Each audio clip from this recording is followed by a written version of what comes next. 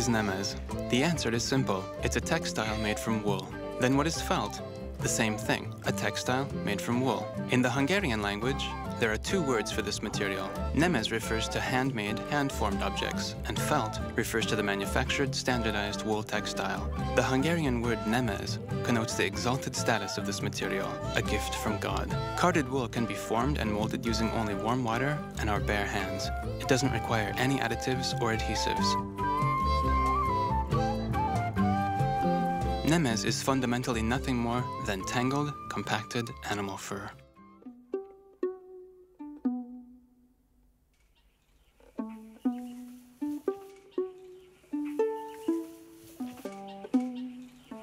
Many types of animal fur can be used to create felt, but wool has the best combination of properties. Sheep's wool is oily, wavy, and has a natural curl, which makes it different from the fur of other animals. Fine wool is the best for creating felt. Different types of sheep's wool have different properties, and can be utilized with differing degrees of success. The caliber of wool varies with respect to the sheep's type, gender, age, ancestry, and a given animal's specific metabolism.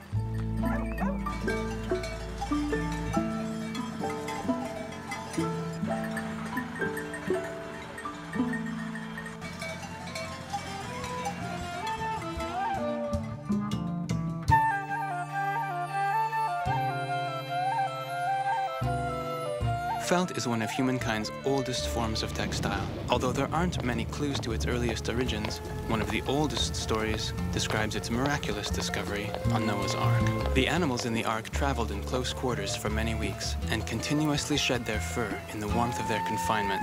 They stood and walked and slept on their fur until a wondrously thick, warm, multicolored felt blanket was created under their feet on the floor of the Ark.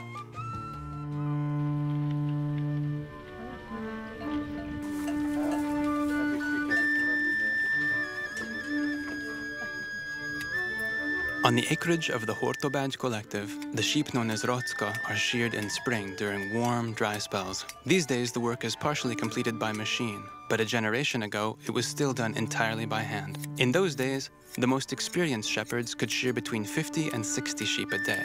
The shearing is done with the sheep in a sitting position, starting with the belly and the inside of the legs, progressing upwards from the ankles and over the spine.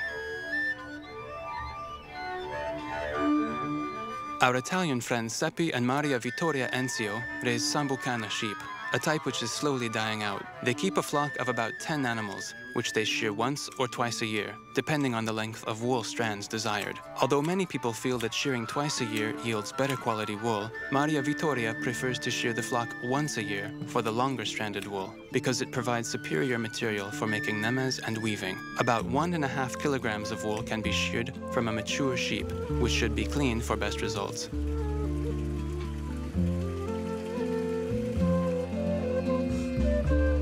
Wool is washed to remove foreign matter, grease, and the animal's smell.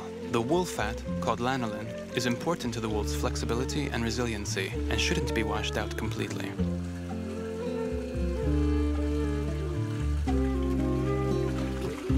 Excessive pressure should be avoided during washing because the wool can begin to interlace and shrink and form felt, which will make further handling difficult. Before we can make anything out of the tangled wool, it must first be loosened and carded. Hand carding is done with two identical steel-toothed boards fixed to handles.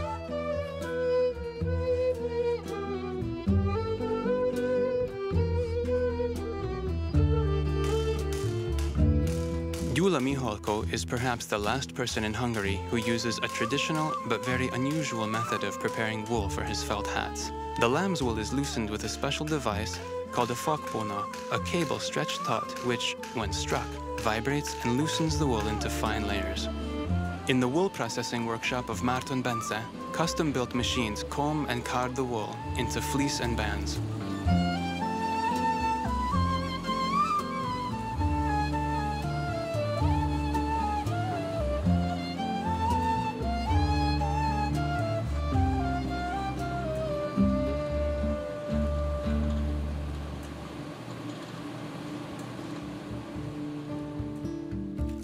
Most plants contain some kind of coloring agent and can be used for dyeing wool. We can use bark, flowers, leaves, or fruit to prepare a dye bath. Once we've soaked, boiled, and strained the organic material, we can cook the wool in the dye for 60 to 90 minutes to obtain the desired shade.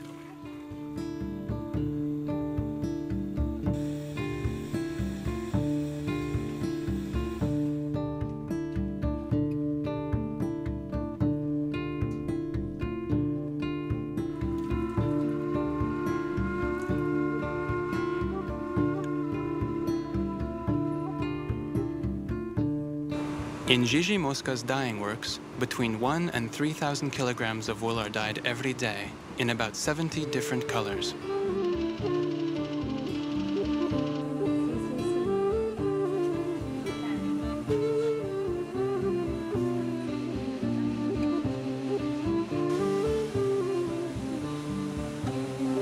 Dyeing experiments are carried out in a laboratory to ensure that the desired color is obtained. Gigi has a special machine designed to dye fleece.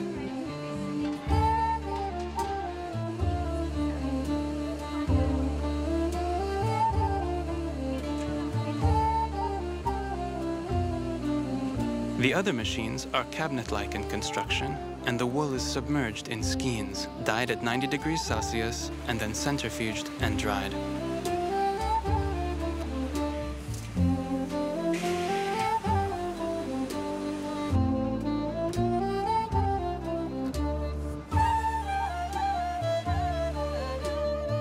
For hand dyeing, we can use synthetic coloring agents like aniline, as well as organic dyes. The wool should be cooked for an hour to reach the desired color and fixed with vinegar and salt.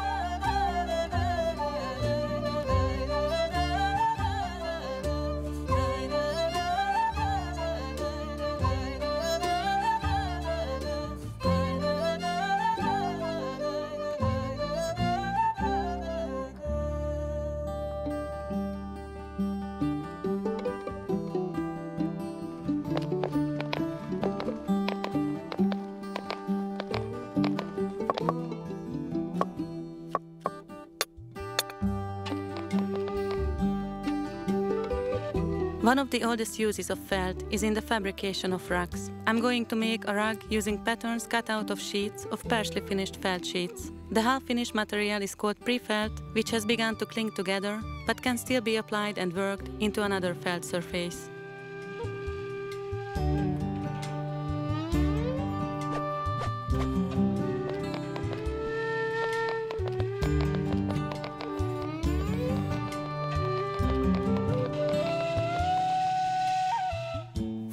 Pattern goes onto the table, or rather onto a flexible surface laid on the table. It could be canvas, a reed mat, or bubble pack. I have to think in reverse for this. The design elements of the rug, which will be on top, have to be placed on the bottom using this method.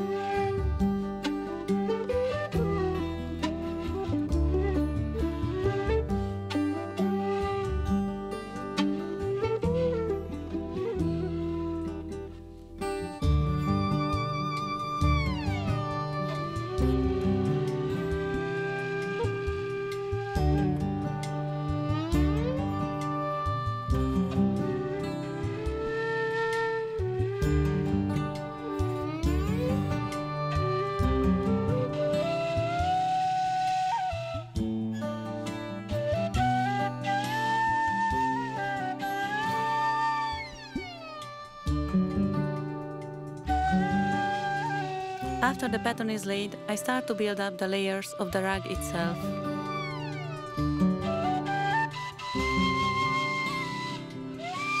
I'm using wool carded into fleece for the rug because I can build it up in large sections. The consecutive layers of wool are laid with their strands running perpendicular to each other.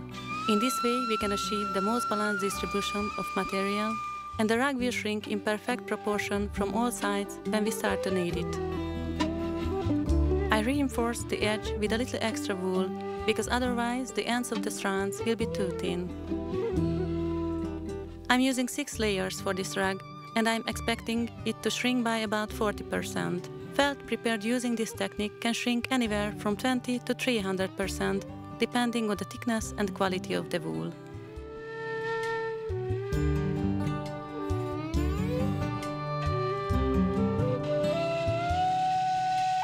I cover the layers of wool with a smooth mesh and sprinkle it with warm soapy water.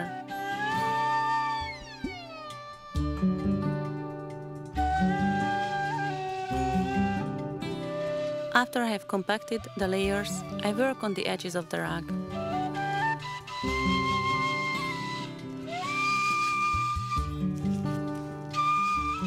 In general, several people are needed to knead a rug to the desired consistency, depending of course on its size. To begin the process, we are going to roll the rug on a plastic pipe. We roll the rug up from each of its four sides and knead it for about 30 minutes. The felt always shrinks from the direction that it has been rolled up.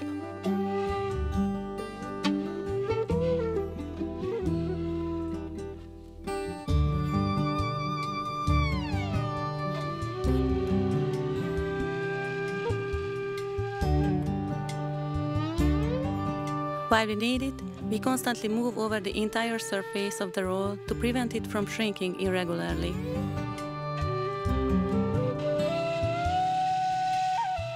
We squeeze the cooled water out of the roll and each time we re-roll it, we sprinkle it again with hot water. Then we cover it quickly so that the water doesn't cool.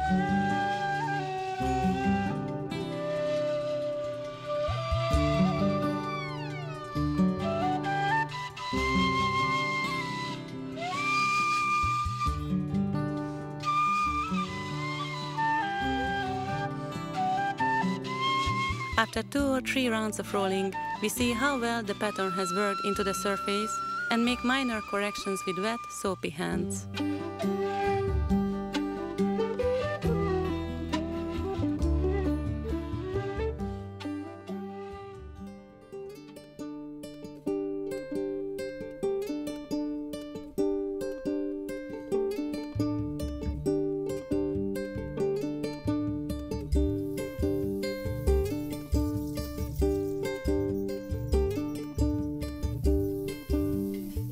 Also compact the wool by walking on it.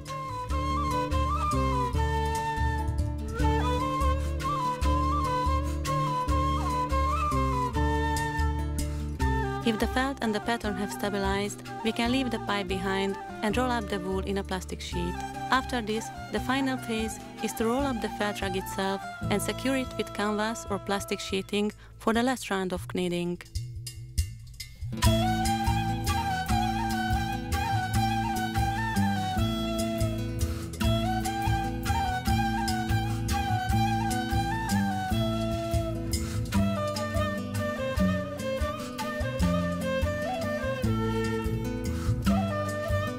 Finished rug is rinsed with clean water, drained and dry flat into its final form.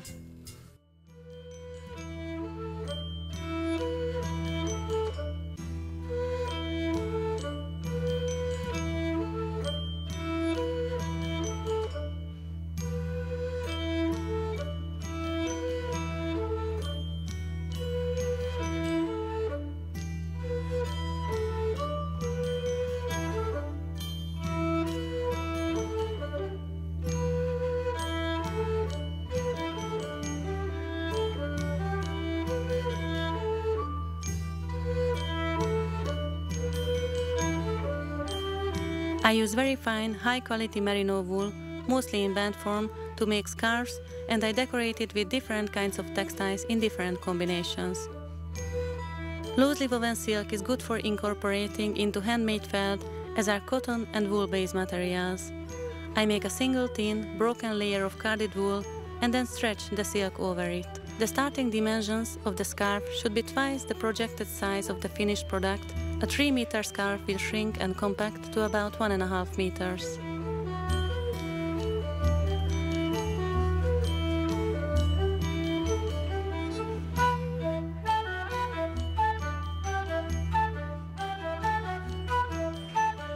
After wetting the scarf, I massage it through the mesh, very carefully at first, then applying more and more pressure until the fibers of the wool weave through the silk.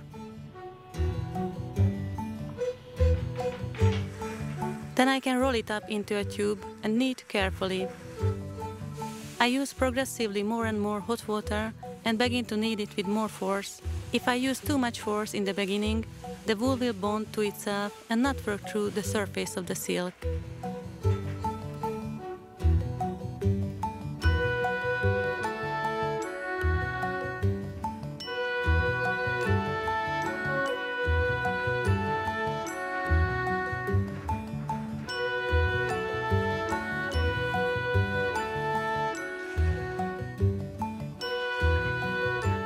I slap it against the table to compact the wool strands. Obviously, we cannot make something like felt with just the silk. It's a layer of wool which shrinks and pulls it together, creating a striking elephant skin texture.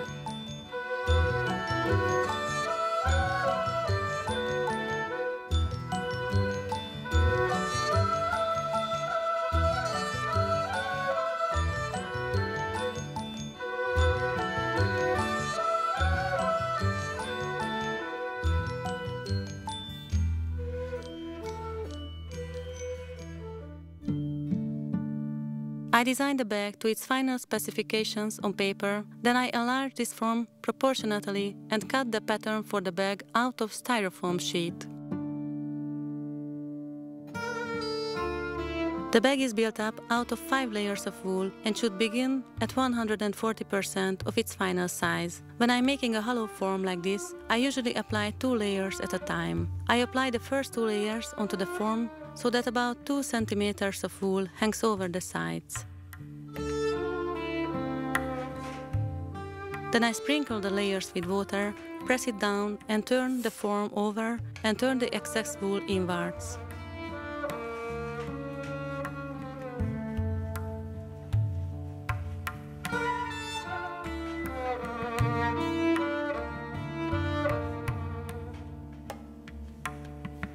Only one of the two layers actually hangs over the side of the form, so that the thickness of the bag will be the same at the seams as it is elsewhere, not twice as thick.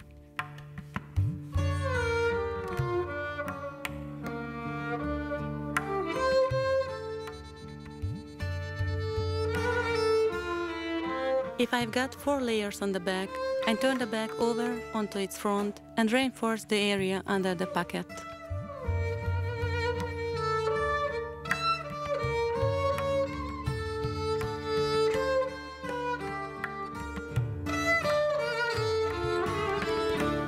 Then I put the pocket pattern onto the inside and apply two layers which hang 2 or 3 centimeters over the side. This is where the pocket attaches to the bag. I make the upper edge of the pocket without cutting, forming it with my hands. I lay the third and fourth layers onto the bag and the pocket, then apply the last color transition layer. I ornament the bag with silk squares which are attached with an outline of colored wool to help them stick.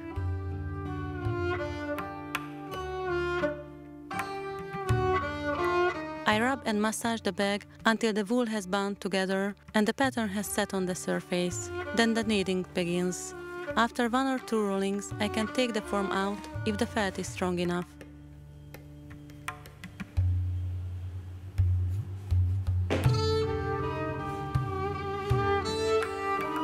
From this point on, I will work the walls of the bag from sides because the unfinished felt can easily stick to itself if it hasn't compacted enough. I always cut the felt before it's been kneaded into its final state so that I can put the finishing touches on the edges. I knead them with soapy hands and continue to apply hot water until the wool has been strengthened.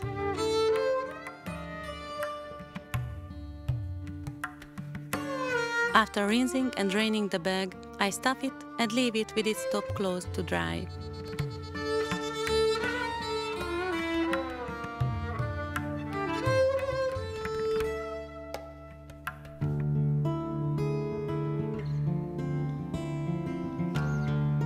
The average woman's head circumference is 56 or 57 centimeters. Controlling the final dimensions of a head requires special attention because even a 1 centimeter difference can be significant.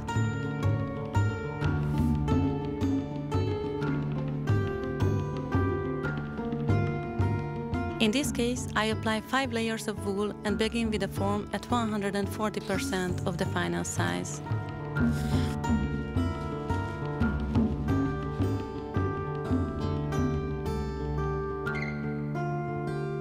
After the first four layers have been laid, I create the ornamentation for the hat, in this case a long felt noodle and a rose. I leave the last 3 or 4 centimeters of the ends row almost dry so that I can attach them later to the surface of the head. I reinforce this with a little extra wool.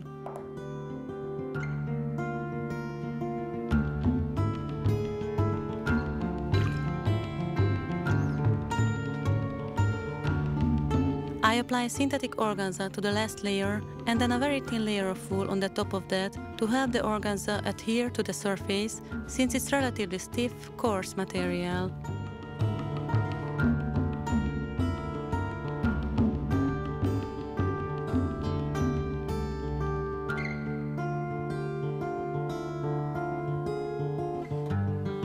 I massage the surfaces of the head until the felt has been worked together and strengthened. During the first few rounds of kneading, the pattern of the head remains inside to keep the sides from sticking to each other. When the material is strong enough, the form can be removed.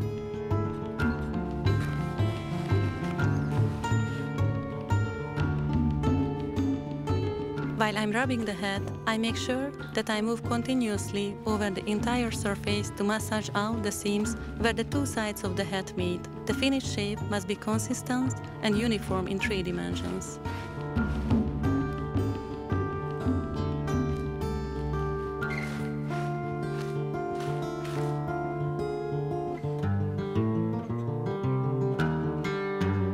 Constantly refer to head maker's form to check the circumference and shape of the hat as it progresses, in this case a 56 centimeter form. After washing, the hat is drained and left to dry on the form.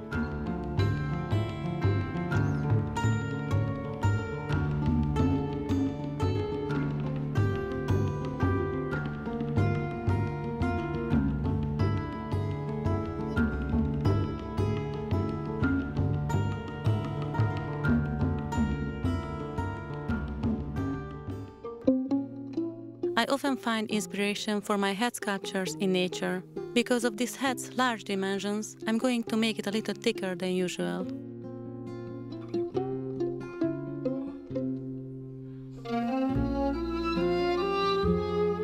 For the first two layers, I'm using merino wool mixed with camel hair.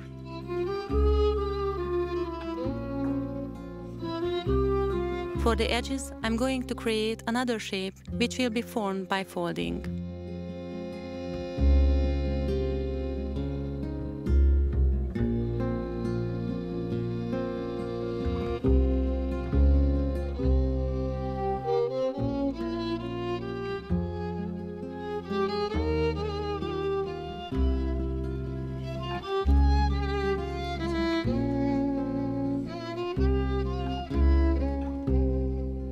I'm going to build in a pair of fins to the inside of the hat as well. These are prepared separately.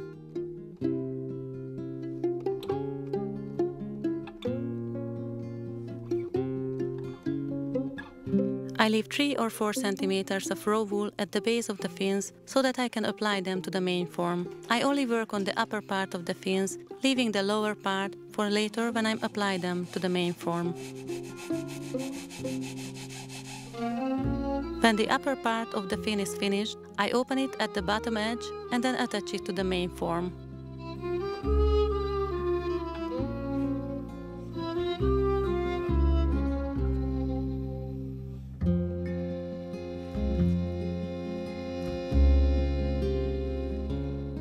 I'm applying the fifth layer of wool, which will carry the ornamentation and which will be worked together with the lower half of the fins as I apply them to the surface of the hat. I use silk and curly, uncarded strands of wool and silver and gold ribbons as decoration elements.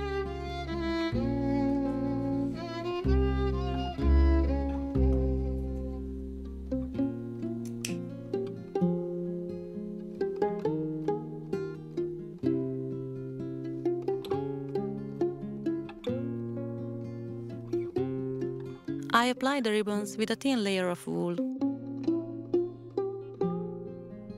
I massage and rub the head to work in all of its ornamentation and knead it in a roll like the other objects. I cut small holes between the rows of ribbons. These can only be cut when the felt is relatively stable but still has not solidified completely. The edge of incisions will be rubbed to soften them and close the surface. I rub the hose with soapy hands and sprinkle the head with hot water and knead it in a roll. The finishing touches are added on a head form and the completed sculpture is left to dry.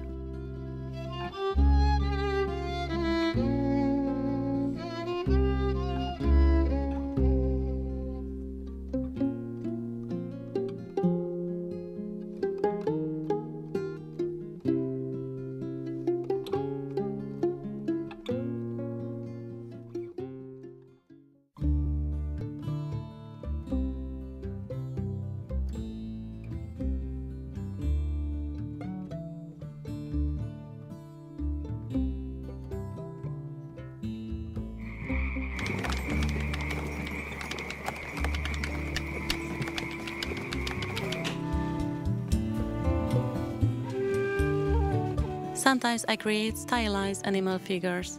After laying the first two layers to the lizard's body, I apply the wool that will become the crest and toes.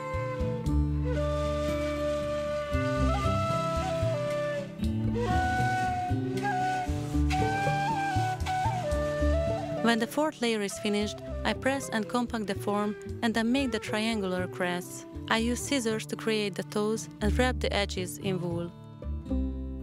The lizard's tail is fabricated separately. I use fleece for the inside and wind it with colored band wool, which is then wound with wool yarn. The tail is kneaded and affixed to the end of the tail stump to be completed with the rest of the body.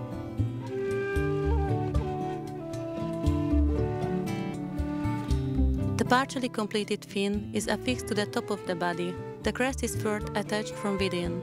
I decorated the center of the creature's back with beads strung onto a wool band. I entwine silk strands into the spaces between the beads and massage the bands into its back through the mesh. Working from the base of the crest to the body of the lizard, I apply the final color transition, then turn it over and fold back the edges and lay the final colors.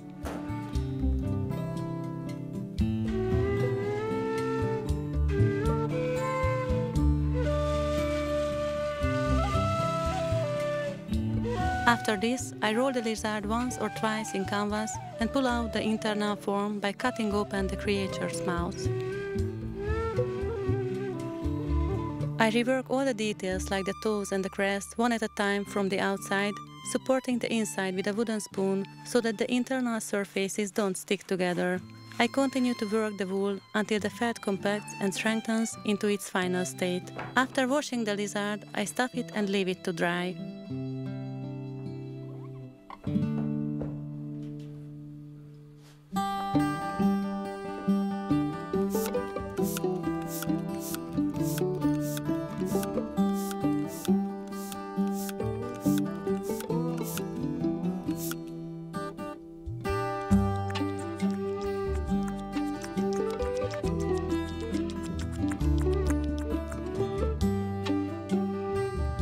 The course of the last 30 years, felting has won renewed recognition and more and more followers.